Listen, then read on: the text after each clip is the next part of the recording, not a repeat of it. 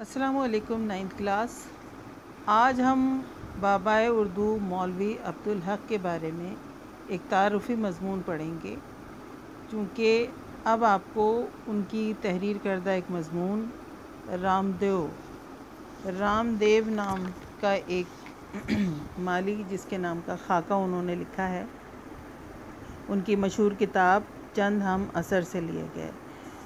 तो उस मजमून को पढ़ने से पहले, उस खाके को पढ़ने से पहले आपके लिए ये जान लेना ज़रूरी है कि बाबाए उर्दू, मौलवी अब्दुल हक कौन थे?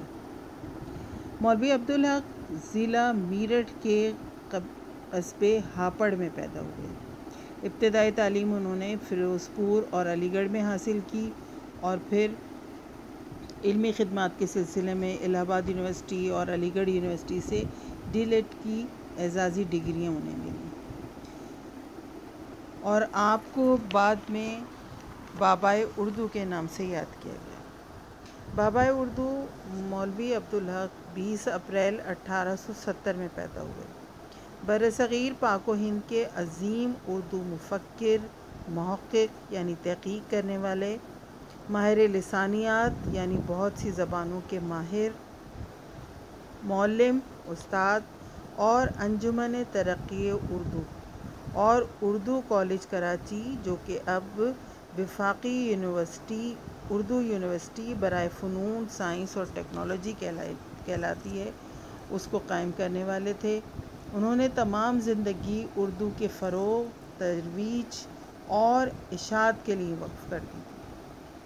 मार्च उन्नीस सौ को उन्हें सदारती एज़ाज़ बरए हुसन कारकर्दगी दिए मौलवी अब्दुल हक साहब की जो खदमात हैं, उनका अहाता करना कुछ इतना आसान भी नहीं है। एक लंबी फहरिस्त है। अगर हम उनकी शुरू के दिन जो पाकिस्तान बनने से पहले का जो वक्त था तो उसमें क्या 1902 में, सन 1902 में अलीगढ़ के तहत एक अंजुमन कायम की गई। अंजुमन ने तरक्की उर्दू।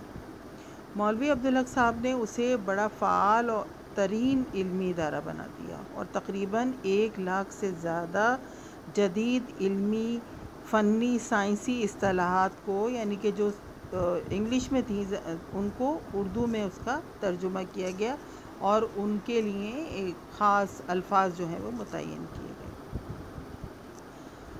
और फिर पाकिस्तान में उन्होंने Pakistan Urdu arts college, Urdu science college, Urdu commerce college और उर्दू लॉ कॉलेज और उर्दू यूनिवर्सिटी के बारे में तो आप जानते ही हैं कि वो उन्होंने कायम किया। मौलवी अब्दुल हक साहब की बहुत सी किताबें हैं जो उन्होंने लिखी उनकी एक तवील फहरिस्त है। लेकिन मैं आपको यहाँ पर उनकी चंद ऐसी किताबों के नाम बता रही हूँ जो कि बहुत मशहूर हैं। एक नंबर एक पे है मकसन शोरा ठीक है? दूसरी है सरफ नहव, अफकार हाली, पाकिस्तान की कौमी और सरकारी ज़ुबान का मसला और सर सैद अहमद ख़ान। बाबा उर्दू, मौलवी अब्दुल हक साहब का इंतकाल सन 1961 में हुआ। उन्होंने अपनी तमाम ज़िंदगी उर्दू की तरक्की के लिए और उर्दू को कौमी ज़बान बनाने के लिए और उर्दू को तरक्की देने के लिए वक्फ़ कर दी थी। इसीलिए उनको बाबाए उर्दू कहा जाता है। उनकी खिदमत उर्दू के लिए बहुत ज़्यादा और नाकबिल फरामोश है।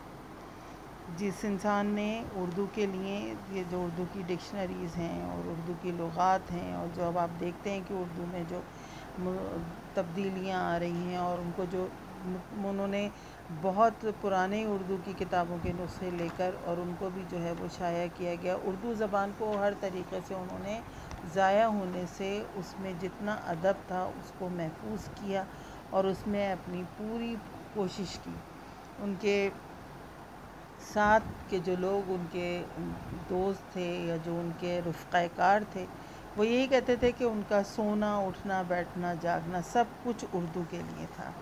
इस अंजुमन के लिए था। उन्होंने अपने तमाम तर कोशिशें और अपना तमाम तर पैसा इसी अंजुमन के उसमें ख़र्च किया कि जो उर्दू के लिए कायम की गई थी। और उन उनकी जो खदमात हैं, उसकी वजह से ही आज देखिए कि उर्दू में इस कदर बेहतरी और उर्दू जो है वो महफूज है। तो बाबा उर्दू का, उर्दू पे बड़ा एहसान है कि उन्होंने उर्दू के लिए इतनी खिदमत अंजाम दी और उर्दू को ज़माने की दस बुर्द से, यानी कि ज़माने के हिसाब से जो ज़बानों में तब्दीली आती है और ज़बानें बिगड़ जाती हैं, उससे महफूज रहा, रखा और आज भी हम उर्दू ज़बान जब पढ़ते हैं, उर्दू के के अदब को जब पढ़ते हैं तो हमें महसूस होता है कि उसकी चाशनी बरकरार है और बहुत सी चीज़ें जो महफूज हैं, वो आज इन्हीं बुज़ुर्गों की वजह से, इन्हीं मुखलिस लोगों की वजह से वो तमाम चीज़ें महफूज हैं, जो हमारा विरसा हैं, जो हमारी यादगार हैं और जो हमारे लिए बायस फ़ख्र चीज़ें हैं कि जो हमारे अतीब और शरा लिख गए, वो इन्होंने महफूज किए।